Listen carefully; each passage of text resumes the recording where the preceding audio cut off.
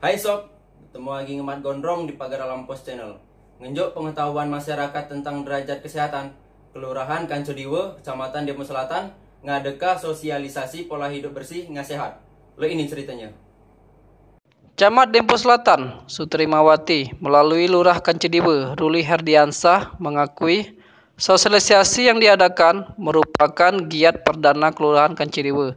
Sebab setelah ini akan ada lagi giat serupa, yakni sosialisasi membahas bahaya kebakaran dan narkoba. Selain bekal materi yang didapatkan, para peserta juga diajak untuk berdialog dan tanya jawab bersama narasumber. Semoga bekal pengetahuan yang sudah diperoleh bisa diterapkan dalam kehidupan sehari-hari. Harap Ruli, Marencoga, Pagalam Post Channel.